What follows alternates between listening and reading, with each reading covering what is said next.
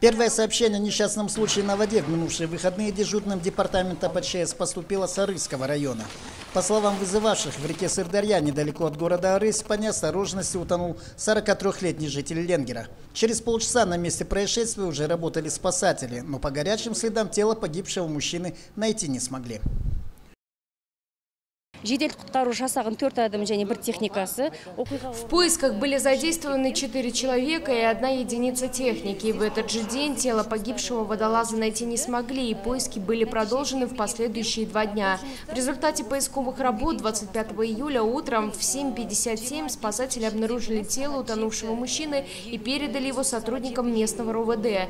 24 июля в 17.40 поступило еще одно сообщение о несчастном случае в водоеме. В реке Келес в Сарагашском районе на неохраняемой спасателями акватории при ловле рыбы по неосторожности утонул 35-летний житель села Бустандык. В 18.20 труп погибшего был извлечен из воды очевидцами происшествия.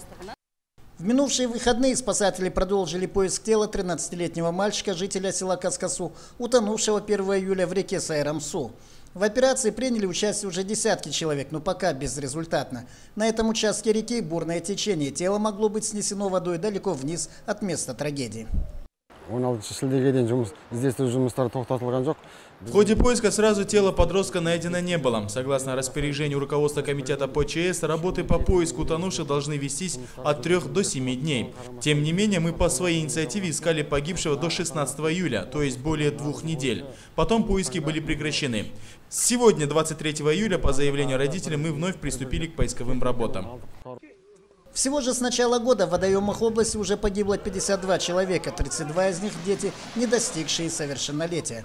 Как говорят спасатели, несмотря на всю проводимую агитационную и просветительскую работу, люди продолжают гибнуть вследствие грубейших нарушений правил безопасности на воде.